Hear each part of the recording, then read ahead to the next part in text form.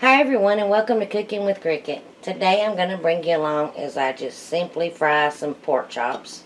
I got my pan heating with my oil on the stove and I am going to dip them in some uh, seasoned flour. So I have my flour, I have some kosher salt, black pepper, a little bit of paprika and just a little bit of the uh, cayenne pepper.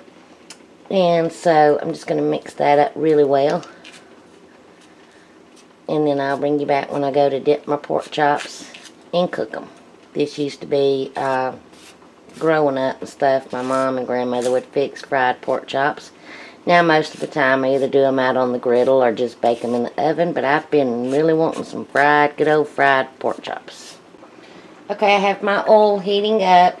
You don't want it smoking hot, but you do want it heated. So when you put your pork chop in there, it starts to sizzle. So I heated my oil up, and now I have it down on medium heat.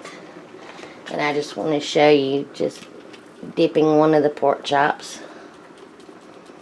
And when I'm cooking stuff like this, I'm just showing you how I cook it and how my family likes it. Like the seasoning and the flour. When you cook it, you make it your own. You add what you like or leave out what you don't like.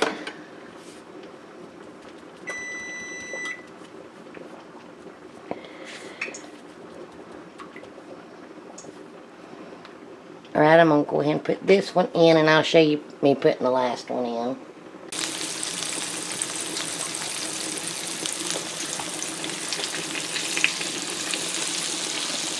Now if you're frying more than what will fit in your pan, you really don't want to overcrowd your pan, then you will want to fry it in batches. But I'm just cooking three tonight because there's three of us eating. And so I'm going to let this cook till it starts to brown on the other side. And then I'll bring you back when I go to turn them. Okay, my pork chops are ready to flip.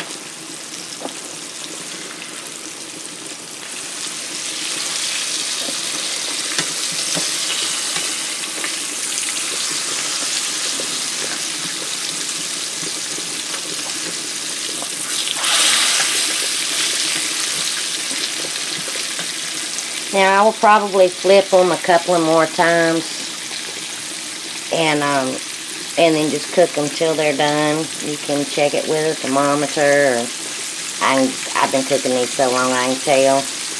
But um, you just really want to make sure that it's done and everything. So um, I'll bring you back when I go to flip them again. Okay, they're ready to turn again.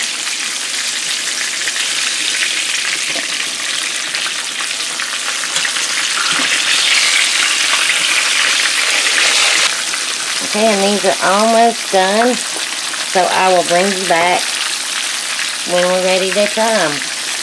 See, this is just a quick, easy pork chop to serve for your dinner.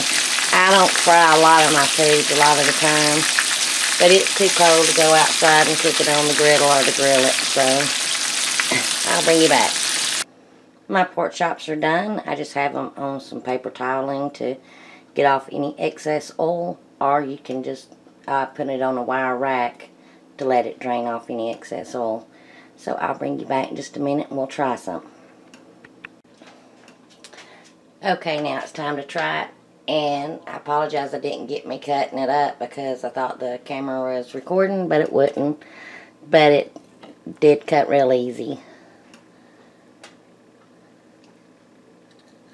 Very nice and very tender. I really love me a good old fried pork chop. So anyway, if you like this video, please uh, give me a thumbs up, comment, because I love hearing from you. And until my next video, I hope you enjoy. Bye, y'all.